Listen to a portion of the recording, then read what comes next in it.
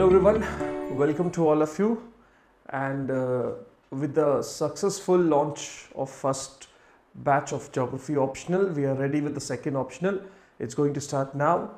And uh, the pattern and the schedule of the optional is already with you. Uh, it is there on the website. You can go through that website.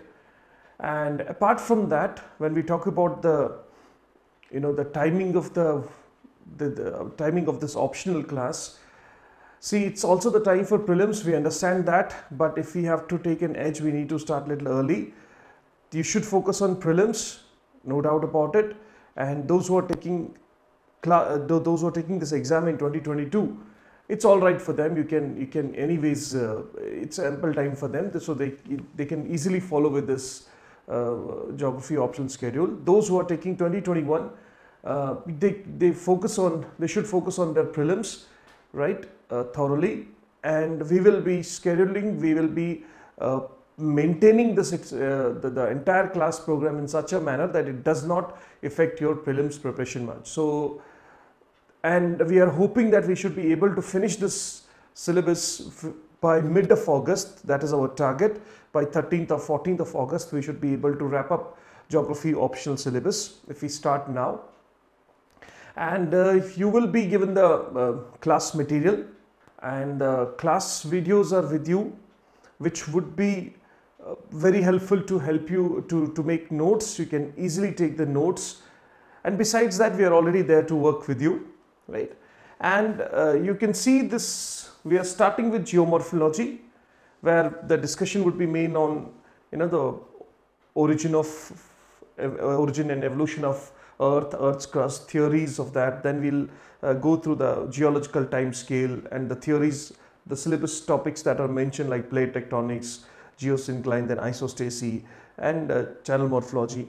See the, the pattern of these classes may not be exactly like what you see in your syllabus as mentioned in UPSC. Topics are all same. In fact, we have tried to include few more topics which are not mentioned in the syllabus but have been asked which includes the arid cycle of erosion, like the periglacial cycle and so on, some topics and geomorphic, uh, geomorphic principles, Thornbury, uh, those eight statements of Thornbury of geomorphic principles. We are going to include those topics as well. But what is very important for all of you uh, to follow the classes, we have we have designed the classes in such a way so that the conceptual understanding goes in the sequence. So that is why we have done the scheduling in this way so that it it goes with the sequence of the, or, or the flow of the concept because the flow of concept is very, very important. So geomorphology, uh, after this geomorphology discussion, we are starting with population geography. Now, a lot of people have asked me this, why do you want to start with the population geography? Why not with the climatology as the sequence is there? See, what I feel when we read geomorphology, it's real heavy topic. Uh, there are so many concepts, so much of detailing and you know covering geomorphology in itself is a big task. Like it's itself is a very big challenge. So I feel that uh, you know there is some tiredness by the end we finish by the time we finish geomorphology and we feel uh, little heavy when we have uh, you know discussed so many theories and so much of information because obviously it is it is much more than what we discussed for general studies. General studies is just the base. Here there are so many theories, so much of information. So therefore, I've, I've thought we should uh, include some lighter topics. It's not a not light. It doesn't mean that it is less important. It's very important. The population geography is very very important for your exam. But topics do not uh, they're not heavy. Like they're not topics are like demographic transition theories, population and social capital as a social capital, and and some migrational theories, which is uh, related to the contemporary aspect, which is uh, re relatively lighter, easier to understand but yes, application part is even, even challenging. So it is not that it is less important, it's equally important. After all, uh, we uh, are concerned with the number of marks. So population questions will give you equal marks. But then it's not tough to understand these, uh, these concepts. So easy, so that I thought there should be a lighter classes. So we have some three sessions which will be a little more relaxing and uh, but important apply application aspect and and uh, what what you need to do is Again, the follow classes and the class material. Then climatology, we'll be starting with climatology and different topics of climate. Right, again a topic which will include lots and lots of conceptual understanding. right? Conceptual understanding. So it's purely based on concepts, right?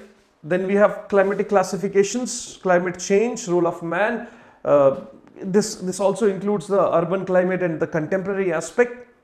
Then after that biogeography because when we discuss you know the climate after that biogeography would be very easy to understand and relate that.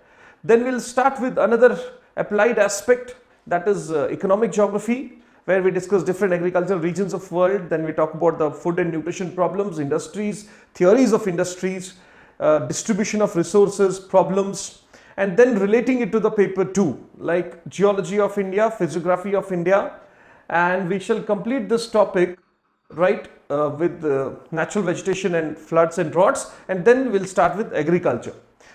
Usually what happens uh, most of the people how they study is that when they study the agriculture in paper 1 agriculture typology in paper 1 they study it as an agricultural geography. So geography of uh, world and geography of india will be simultaneously handled right? So first they'll discuss the geography of world and then they'll take the geography of india and then come to the economic geography but we separated these topics we have kept them very separate First, we'll cover the world geography part, world uh, agriculture regions, and then Indian agriculture regions. Because you see, the amount of detailing that is required for Indian agriculture is quite different than, very different than the detailing required for world geography.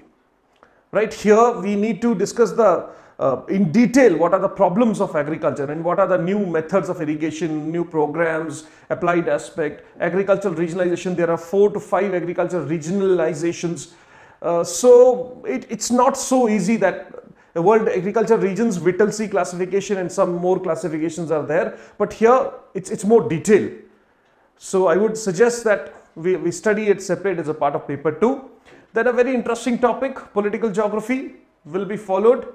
Political geography heartland rimland theories and then we compare it to the Indian aspect Indian foreign policy and state uh, rather internal issues and also discuss the boundary related issues with neighboring countries and overall India's role in South Asia geopolitics as mentioned.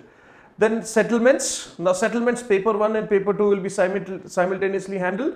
Paper 1 like the urbanization of world urbanization in India, how do we define, what is the difference in the definition of urbanization, uh, sphere of influence, then what is the, what, what are the theoretical aspects and how do we relate to the India and same thing slum problems of the world, some slum problems of India. So there's an interconnection between these two that will be following for settlements.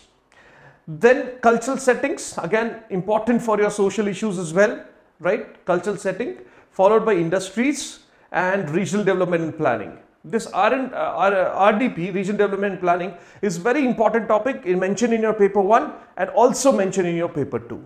So this is one, this is another topic that we are doing simultaneously. Right, we'll discuss what are regions of the world and then we'll discuss what are the uh, uh, different regions of India. How uh, developmental strategy are examples in the world, then we'll take in examples of India and then multi-level planning command area development program and this is again very very applied it will also help you in disaster aspect such as the drought programs, flood programs, desert development programs, hill area development program. So regional aspect is very important.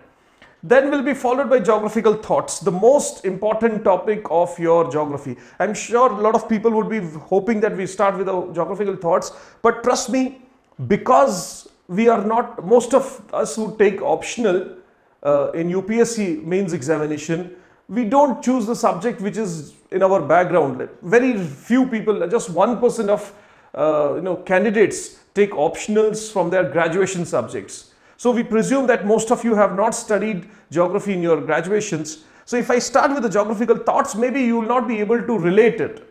So we have kept it towards the end and it's very important without geographical thoughts, geography is not geography is incomplete. You cannot understand geography under, unless we study geographical thoughts. So philosophical backgrounds like areal differentiation, contribution of Greeks, Romans, Arabs, that is how we start with it. And we'll try to understand how geography evolved as a subject.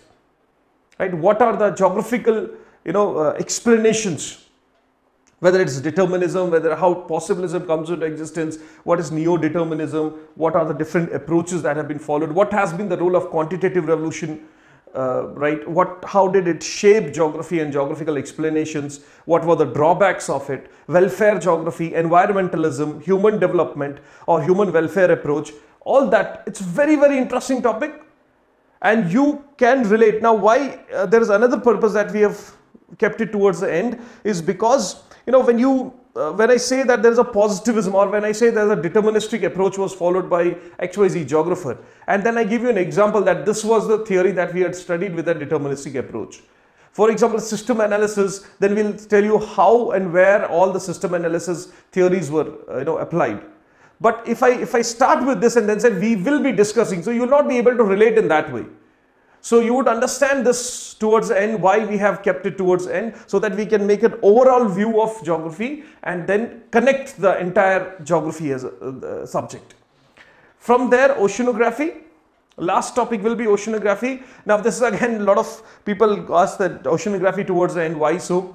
It's my personal experience that I've seen. By the time, you know, uh, we reach towards the end of geography classes, many people feel tired, fatigued, because uh, you know the human geography people i mean there's a lot of description involved. So a lot of people are interested in studying physical geography more than the human geography where, whereas human geography is more interesting and and, and it's it's uh, you know uh, very important part of it.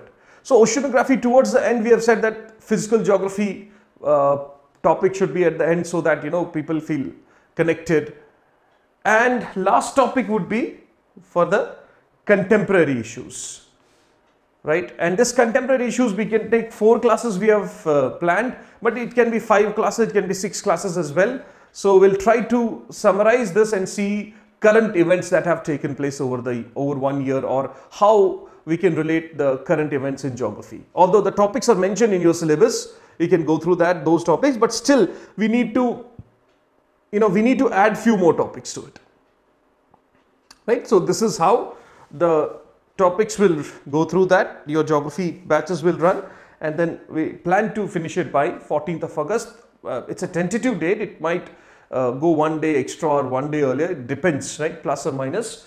But we will stick to this schedule as much as possible and that is how the, the pure class program will run through. So far as the class uh, support is concerned, yes, you have our full support. we will try to make you comfortable in geography as much as possible and try to give you the conceptual understanding because it's conceptual understanding that's very important. At the same time, there will be uh, live doubt sessions, right? Live doubt sessions uh, two times in a month. That means fortnightly. We'll be planning to, you know, all the all the doubts that you have, you can uh, clear those in, in, in the live sessions. We'll connect to uh, all of you and also in between also you can join the telegram group where you can you know get added and uh, I'm there in that group we will try to reply most of the doubts that you have right through that telegram group and uh, welcome to the geography optional classes that is all I can say and uh, thanks for the very overwhelming response that we got from batch 1 now the batch 2 we hope to get the same response, right? So let's start with the geography option now, right? Thank you.